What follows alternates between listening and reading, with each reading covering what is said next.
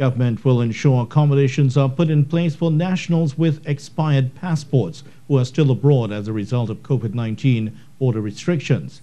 National Security Minister Stuart Young reassured affected nationals at this morning's Ministry of Health COVID 19 virtual media conference.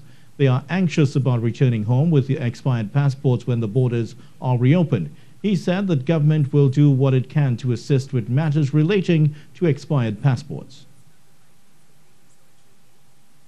When we reach the stage that commercial flights are going to be reopened, our embassies or consulates abroad or high commissions abroad, the Trinidad and Tobago high commissions, consulates, and embassies abroad will also be back out of business as usual. And we will do what we have to do at immigration to facilitate when we reach that stage and we have commercial flights coming and there's less border restriction.